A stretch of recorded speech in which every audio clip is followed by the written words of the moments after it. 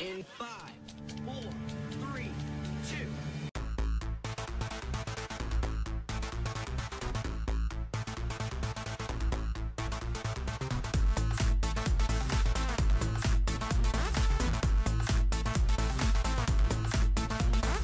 Good morning, Hersey Huskies. I'm Ethan Salm. And I'm Magda Wilhelm, and these are your student announcements for Thursday, September 14th. Join us in a brief moment of silence, followed by the Pledge of Allegiance.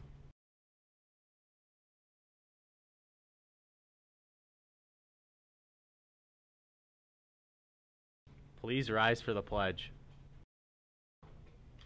I pledge allegiance to the flag of the United States of America and to the republic for which it stands, one nation, under God, indivisible, with liberty and justice for all.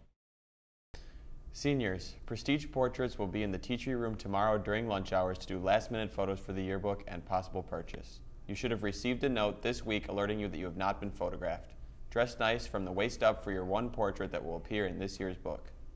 Check your school email to see the design of the 2017 Homecoming Clash of the Classes t shirts. Orders for these NASA inspired shirts are being taken this week during lunch hours for $10. This year's Clash of the Classes is on October 3rd. The senior class should check their school email for a chance to nominate a fellow senior for the 2017 Homecoming Court.